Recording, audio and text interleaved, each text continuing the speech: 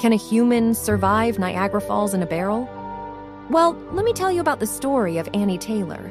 It was October 1901 when Annie Taylor, a 63 year old school teacher from Michigan, decided to become the first person to survive a trip over Niagara Falls in a barrel. With the idea of turning her risky adventure into a lucrative business venture, she designed a custom barrel made of oak and iron and cushioned it with a mattress to protect herself during the fall.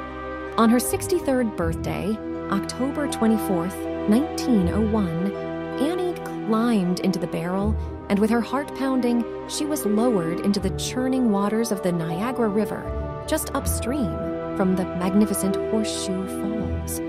The plan was for the current to carry her over the falls, where she hoped to emerge unscathed on the other side. As she descended towards the edge of the falls, a crowd gathered, both cheering her on.